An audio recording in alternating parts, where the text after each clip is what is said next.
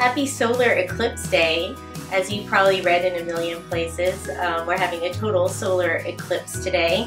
Remember, do not stare directly at the sun as it's totally covered by the moon.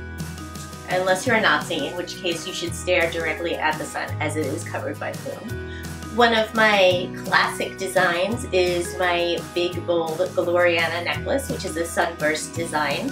So um, that's what I would normally be wearing today, but I'm having I'm having a moon moment, and I have a brand new necklace, my Selene necklace, which is named for one of the Greek goddesses of moon. There was more than one, and um, it's a moonstone, appropriately enough, um, highlighted by maybe 10 points of diamonds. I don't know, I have to double check. Erin, you were supposed to find out for me.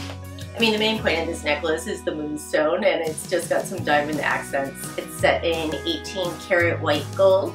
It's brand new, so it's not on my website, but if you'd like to ask about it, you can email me at info at wendybrandes.com.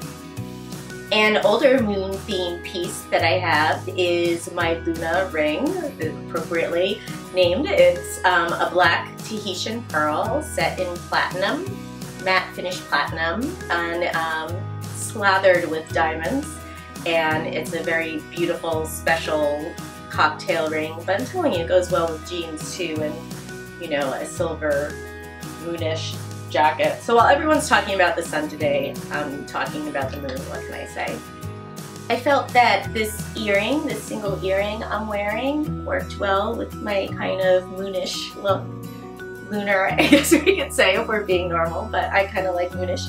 Um, it was, there's just one of them because A, I like that look, but B, it's a converted pendant that I wasn't wearing as a necklace anymore. So I turned it into an earring. If you want to do something like that, get in touch with me. I'm always happy to do a redesign.